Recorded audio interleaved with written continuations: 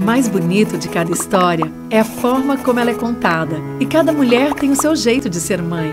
O cenário de hoje traz novas vivências, distância, aproximação, mães que cuidam de filhos pequenos e filhos grandes que cuidam de mães. Mas três sentimentos sempre prevalecem: amor, cuidado e gratidão.